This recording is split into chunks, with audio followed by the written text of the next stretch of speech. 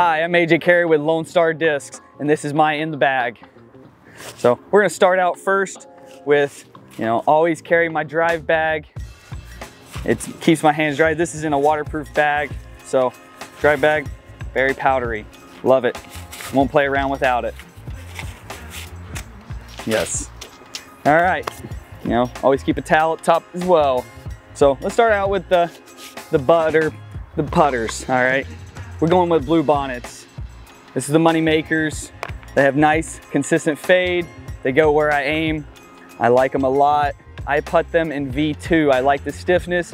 When it gets 100 degrees, these are still gonna be nice and stiff and have great grip. They're not slick, they're very tacky. You know, they have good fade and they handle the wind. So they'll be still be in my bag when we're out there in Kansas and in the high headwinds. And they'll also make it in the bag when it's no wind in the woods. So blue bonnet, best putter there is. All right, approach disc. We're gonna go the bull snake. Bull snake is there for when I want to throw the blue bonnet, but it's a little windy and I need something to grab the ground and it's not, not meant to go very far. So mainly backhand only, possibly a couple forehands in there. So we got the, the bull snake. Great disc and this is in V2. I prefer most of my throwing putters and putting putters in that V2 plastic. So, all right, you know you gotta have one in the bag. The Dillo. I like the Glow Dillo. Nice and soft, has good fade. It's really a point and shoot kind of disc here. I can, if I throw it on hyzer, it'll hyzer out. If I throw it on Annie, it'll hold the Annie. If I throw it flat, mean, it's a laser beam. This is what I like to run baskets with, long throw-ins. We're gonna get a couple with these this year. So, Dillo, gotta have it. And really, let's say the hands down the best throwing putter in our lineup, the penny, the glow penny to be precise. This disc, okay, little story behind this one is, shanked one off into the woods here, went deep in the woods. Great warehouse, like great um, production find here. This is sick. You know, whoever left it out there, well, sorry for them. It's mine now. But um, yeah, this is this is my favorite disc for those laser beams, straight, throw it on a hyzer, it flips up, throw it flat, it gets turned. And I, this thing I could throw, throw it to 330, maybe 350 with a good tailwind. It goes for days and it goes exactly where I, I, I aim it. So hands down my favorite. It's like pushes that mid-range slot in a way. So glow penny. Now, some more approach discs. We carry two harpoons, okay? Right now I'm testing out between the V1 to V2. This one is the V, V1. This one's a V2, so it's stiffer.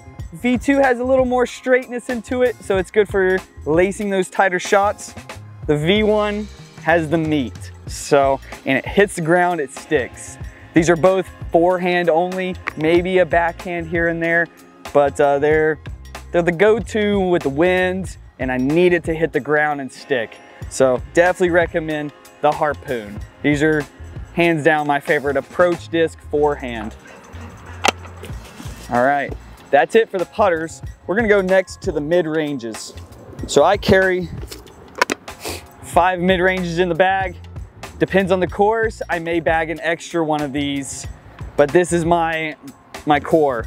We start out first, hooligan flip. This thing is really flippy. So I'm trying this out for that shot. We'll see if it makes it, but you can't throw it on enough hyzer. It's going right. So I like it for those high turnover shots, maybe standstills. So we're working this one into the bag. Next one in stability is the Texas is the Texas Ranger. And this one in particularly is in Bravo. It's more overstable. It has some fade if I put it on hyzer. It'll go straight if I throw it flat. It'll turn if I put a little tilt on it. So it's really my most point and shoot out of all the mid ranges. And the Bravo plastic is a little more overstable. If I had it, uh, I may also bag an Alpha for those flippier shots that need to stand up. So Definitely one of my favorite mid-ranges right now. It's so point and straight. So gotta love it. And I can throw it out to like 350, 375 if a good tailwind. I love it. Can't say enough great things about it. Next one I'm really digging on is the MIDI. Okay, let's go down to one of the first two molds from Lone Star. This one here, Alpha, this is also Alpha. The difference is this one's a little more stable, this one's a little straight. They don't flip on me, but they're more of a throw it hard and flat. I can throw it as hard as I want. It'll hold that beam straight, get a little consistent fade at the end. These are gonna be the workhorses. I think about end of season, I'm gonna have one beat up to that late flip, and then I'm gonna have you know, maybe bagging almost four of these things. I love the way these things feel. So I definitely recommend you getting the MIDI. It's great, might be a good fading mid-range for you. It may be a good straight mid-range depending on your power level, but can't say enough good things. And look at the swirls on it. So last but not least, we got the Walker. It's, it's fighting, it's for the slot for my favorite disc in my bag. I like it for forehand. This glow is extra gummy. It likes to hit the ground, stick, backhand. I can throw it as hard as I want. No flip up at all. And it's always consistent fade. You know, the Walker go-to. Definitely for them forehands. All right, let's go the fairway drivers. So fairway drivers, we're gonna go slow speed fairway. We're gonna start it out. Mockingbird, this is for that softer touch shot, dead straight, late flip, uh, maybe like a fan grip on deep hyzer. Uh, it's gonna be go-to uh, fairway driver in the woods where it's tight and technical. This is in Bravo, so it's a little more overstable, but it's pretty much just a point and shoot disc. I like to equivalent to the uh, Texas Ranger in a fairway driver. So definitely liking the Mockingbird. Next two, I have lariats, okay? This is a Bravo lariat. This one's more flippy. I can get it to turn right more often, throw it flat, gets to right, but if I dip into the hyzer, it'll beam straight. I also have the Founders, which is more of a left finish. I can even forehand it. It has nice stability to it. If I put it on hyzer, it'll track out left. So these are a great, a great you know, complements to each other. Whereas this is when I wanna go right, this is when I wanna go a little left. So they work well interchangeably to each other. Next, we have the Dos Equis. This is, might be my favorite mid, uh, favorite fairway driver. It has nice finish. I can forehand it. I can backhand it. When they start to beat up, they'll push straight. But overall, very consistent left fade. Really digging this disc right here. So can't wait to throw, fillet some forehands with this one. All right, next we're gonna go to that higher nine speed fairway. And we got two, we carried two of those, two molds. First, we're gonna start out with the Mad Cat, okay? This one, this is my straighter Mad Cat. It has still has finish. Don't really forehand it, but it's mainly a backhand for pushing that 400 with a little fade. This is a Alpha Mad Cat. Then I have, this is a, not really sure the plastic for it. This was a woods find. Again, shanked one into the woods, went over there, was gifted with a mystery disc, mystery Mad Cat. This one feels really nice.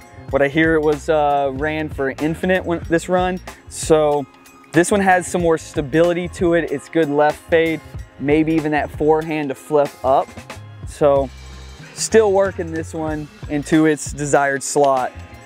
You know, then we're talking about maybe the best nine speed in the lineup for sure to Chupacabra, all right?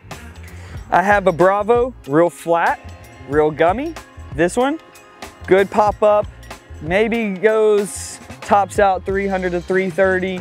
It's pretty overstable, but it hits the ground sticks because that Bravo is nice and gummy. Whereas I have this Alpha, and this guy, I can throw it as hard as I want in any headwind, and 330 at best? I mean, like back, that's backhand, full flight, this thing fades. So it's hard to throw it very far, which makes it a great distance control disc, both forehand and backhand. And really, I can't wait to test this thing out when we get to the Kansas wind and get out west where we, we play in the wind some more. I think uh, Vegas will be a great opportunity to bring this out because 350 and in, I'm, you know, this is perfect. I just throw it hard, aim at my spot, and it's getting there. All right, next one we're, we're going to drivers. Okay, no particular order. We have the tumbleweed, okay? Put some little marks on the edge because this is my roller disc. Forehand, backhand, doesn't matter. You know, I really, it's a quick flip disc. I put it out there nice and flat. It gets to the ground and it just rolls and it always flips to the flight plate. So love it for that. May throw it on a couple backhands in strong tailwinds where I have to get deep into it and still get right. But overall, tumbleweed, you know, the name speaks for itself. It's a roller. You always need a roller in your bag, so tumbleweed's great for that. All right, then the next, the next four are gonna be warbirds. I prefer the alpha warbird. I like that stiff, stiffness to it, and as the, as the temperature heats up, this disc will slowly start to soften up, but it's nice and stiff, easy to grip onto. I love it. This one's a little lighter. This is 171, still overstable. It's starting to work into now getting that pop into it. So look forward to seasoning this disc in for that, you know, later in the season, you're gonna see this in my bag for that late flip shot. So loving it. Got another alpha that's in this more see-through plastic. You know, this is, this one's sick. This one's probably, it's similar to the white one. I'm still working in which, which the season for it, but it has flip up, but it still has some fade to the end of it. Really like it. It's, it's a little flatter than the rest of mine. Next is, again, this is a max weight warbird. So this is a this is another warbird again. This is meat hook. It's nice and pop top, has beautiful swirls on it. This one is very reliable in wind. I can throw it in a headwind as long as I give it a little hyzer. It's not gonna flip up and get turned out of it. Throwing it in some near 20 to 25 mile an hour headwinds and it still holds up. So this is gonna be you know, one of my biggest bombers when I finally get this thing broken into getting some pop up. And then off, straight out of the wife's bag, got another Warbird. This one, one Alpha 168, it's lighter. It's got a monster dome and it is a meat hook. And I love it. This one is get it out there, get it on a high, high little bit of Annie. It just fights its way out. This thing goes a mile. I love it. Love it for the forehands because it gets up the speed a little easier. You know, definitely recommend. Try some of these light warbirds. And they hold stability even in that light plastic. You know, so 168, still beefier than my 175, so worth a try for sure. I'm loving it. This is this one just so good, so good. All right, next two, they're fighting for the same kind of slot here. We're gonna go Tombstone and Alpha. This disc, pretty flat, it's very sharp. It does exactly what its name is. It's a tombstoning disc. It's great for that. You put it high, it's gonna stab at the ground, and it really doesn't like hit and bounce. It just hits dead. So this is for those up to 400 foot spike hyzers, you know, where I can just throw it hard to the sky, it gets left, gets down, it doesn't get it doesn't drift left and right in crosswinds. So I also like it for forehands. Forehands, 350 and in. It's it's good. It's it's a little straighter than the Chupacabra for the forehand, so I'm able to push it a little bit longer than the Chup. So it has good complements with you know this being a 13 speed, that one being a 9 speed. This one goes further, gets up gets up to faster speeds. Overall, love this disc. And the last one, Seguin. Okay, this is a new disc. You know, most of you viewers may have just seen this been released on the uh, approval list. I like to think of this, this is a Bravo. It's super overstable. I like to think of it considerably close to the, the Bowie, but more overstable. It's not quite my Tombstone. The Tombstone has less glide. This has as much fade as the Tombstone, but I can push this much further than the Tombstone. But it also still has that reliable fade. I'm looking forward to throwing this disc in heavy headwinds as my max distance disc. So really look forward to it. When it comes out in alpha, your boy will have an alpha in his bag. So for right now, this Bravo is gonna do. So overall, we've got to all the discs. So want to shout out the bag. This is the Discology OG bag. So very nice. Like it a lot. Carry two, got two water bottles on it. Otherwise, you know, things that I keep with me. I try to keep it light, so I don't bring a lot of extra knickknacks with me. Uh, I do keep a rangefinder in there, though uh, it's not in here right now. And, uh, you know, some other things. I, uh, we always have uh, poop bags on site. Oh, what's this? This is, uh, this was a fine, you know, my dog Onyx. He dug this up on the first hole here at headquarters yesterday. It's just a deer vertebrae. Why do I have it?